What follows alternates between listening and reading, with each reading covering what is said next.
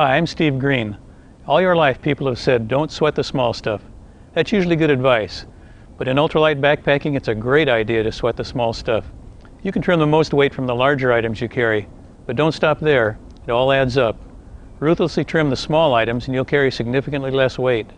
Have you ever grabbed some gear just as you were leaving for a hike?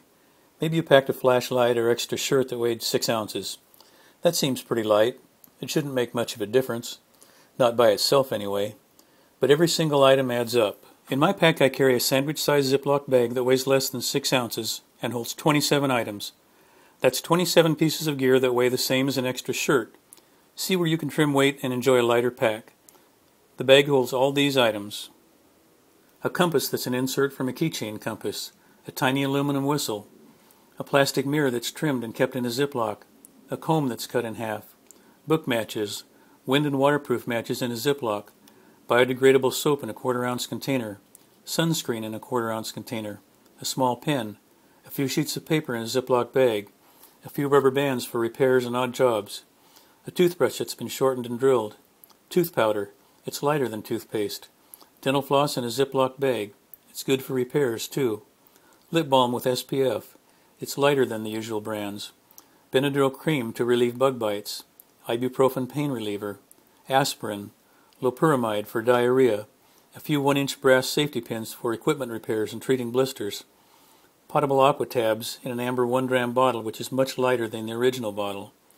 25 feet of nylon cord for repairs and general use a small Gerber knife, two Princeton Pulsar 2 lights, extra batteries for both lights, tiny scriptures. There it is, 27 items of gear that weigh less than 6 ounces. You can trim the weight of other small pieces of gear too. For garbage, the large resealable bags found in supermarkets work great, and they weigh only 4 tenths of an ounce. Take only the part of your map that you need, but don't trim the legends or emergency escape routes. A super light emergency blanket can give you protection for only 1.8 ounces. Some car keys can be hollowed out. I drilled almost half the weight out of mine. I attached some bright mylar from balloons so the keys can be spotted easily if they're dropped. Leave your wallet and most of the contents home. It's dead weight. Don't skimp too much on toilet paper, and do place it in a Ziploc bag. Your first aid kit can be quite complete and very light. Start with a mini kit and throw away the plastic pouch it comes in and use a Ziploc bag instead.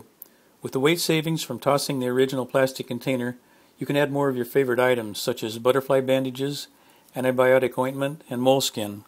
Experiment with light pillows. Your clothing in a stuff sack might be enough. Part of your pack can work. I use a small piece of foam that weighs 7 tenths of an ounce and add clothing underneath for more loft. Use small Ziploc bags for your medications if you don't need airtight containers. There are backpackers who consider deodorant a must. Arrid makes a cream that can be placed in a small plastic container. Look for light polarized sunglasses that weigh less than an ounce. For reading glasses, look for the very narrow kind. They're about half the weight of your regular pair. If you take a camera, explore lightweight options. Go ahead and sweat the small stuff. You'll save weight and have more fun. See over 30 more videos and a free ultralight backpacking book at hikelight.com.